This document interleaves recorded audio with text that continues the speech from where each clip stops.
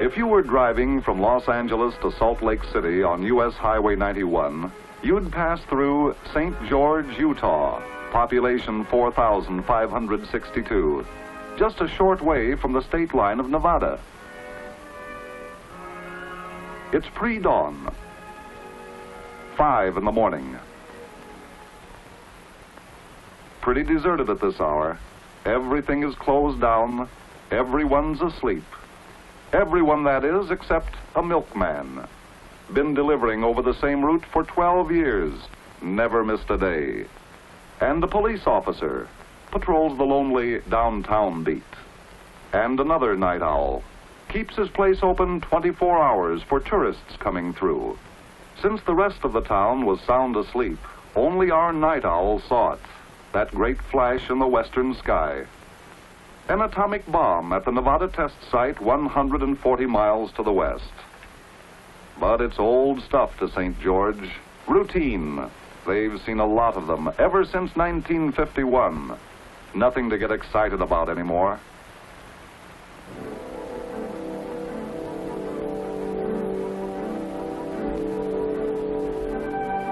As this thriving community went about its business, youngsters on their way to school, housewives starting on the chores of the day, merchants opening their doors, and the folks at home listening to the radio program.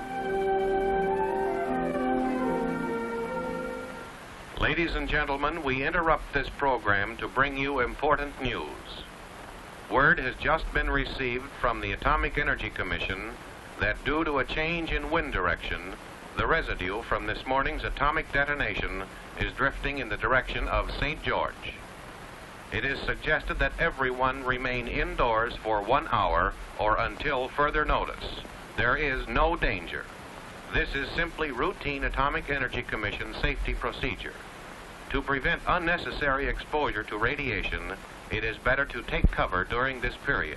Parents need not be alarmed about children at school. No recesses outdoors will be permitted. Please stay indoors and advise your friends and neighbors who may not hear this announcement to do likewise. And as the people at St. George took cover, it was natural that some of them had questions about atomic tests. Questions like, why do we have to test bombs? And the answers are found in still another question, the question of national survival. For testing of atomic weapons goes on for a vital reason, our national defense. We have no choice. To fall behind any other nation in atomic progress is a national risk. To assure our defense, we have to keep our atomic strength at top level by testing new ideas and principles and applying these principles in weapons. That's why we have the Nevada test site. It's sort of a backyard workshop, the most unusual scientific workshop in the world. 640 square miles of desert and mountains, 65 miles northwest from Las Vegas, set in some of the loneliest acres the world has ever seen. But this barren region is not barren of brains. Some of the outstanding minds of the nation work in this sprawling outdoor laboratory the scientists who have harnessed this great force and opened the door to the atomic age. The military men who may have to apply this force in the defense of our nation. Technicians who assemble the complex instruments and equipment. And lots of others who build, who plan, who record, who maintain security, and the countless tasks essential to this important project. These men are here for a vital purpose since we have no atomic monopoly, we must continue to increase our knowledge of atomic weapons to guarantee maximum military atomic strength. But naturally, the folks in St. George, as they look upon their silent city, wonder why weapons are tested inside the United States instead of the far Pacific area. The answer is, we need both testing areas. In the vast, isolated reaches of the mid-Pacific, we test weapons of tremendous strength. Only smaller bombs are tested inside the United States. These smaller devices, just as important to America's weapons strength as the larger ones, could not be tested so quickly if they had to be taken to the Pacific Proving Ground about 5,000 miles from our western coast. A Pacific test is quite a job. Past operations out there involved 9,000 men, like two complete cities of St. George, and food and supplies to maintain those men. Obviously, an operation like this takes time, months and months of time, while atomic progress waits. So our need is pressing for a nearby test site, a place where nuclear tests can be made frequently, quickly, and more economically. And thus, in 1951, the Nevada test site was set up for the first in a series of continental tests that are part of our continuing atomic program. Because the Nevada test site is close in, scientists conduct a test on one day and return to their laboratories on the next to start evaluating results immediately.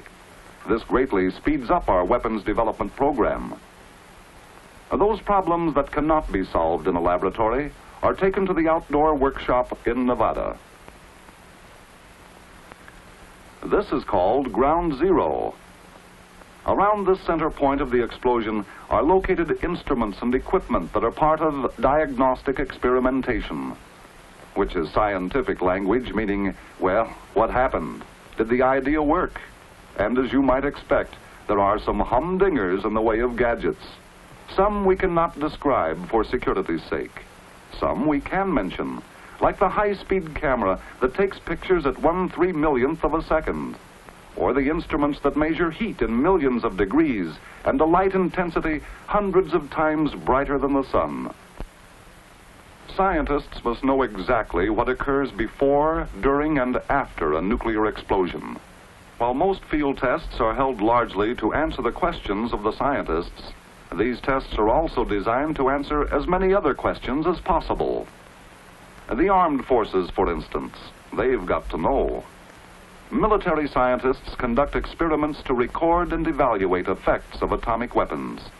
For training purposes, military personnel observe from foxholes. We also need to know if military equipment can take it.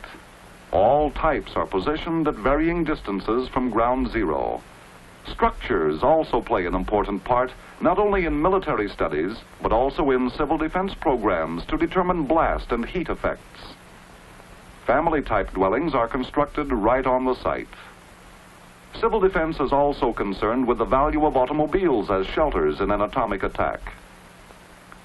Biomedical tests using animals such as mice and pigs for research subjects are conducted to gain important information about radiation effects on cells and tissue. And a lot of other government agencies also set up special tests and experiments. Finally, the work is done. Preparations are completed. Another valuable test is ready. Shot day is tomorrow morning. The early morning air is cool, crisp. The outdoor laboratory workshop is deserted, silent.